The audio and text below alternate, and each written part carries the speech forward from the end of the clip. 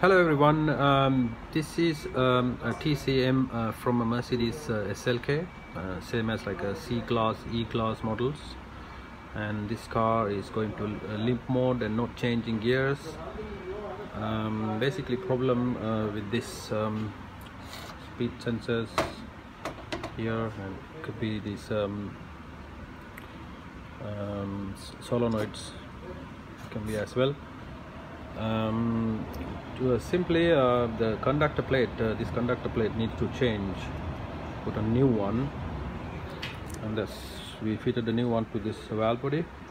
And the same time you need to check each um, uh, uh, solenoids as well if they're functioning properly and the contacts.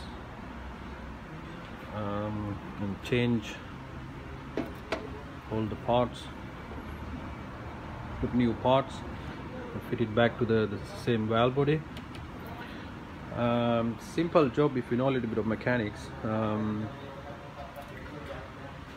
uh, basically uh, this is the inside the gearbox.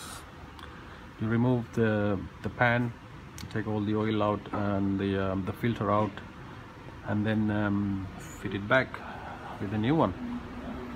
And reset all the fault codes. Um, it should work. Very sometimes you need to do a reprogram.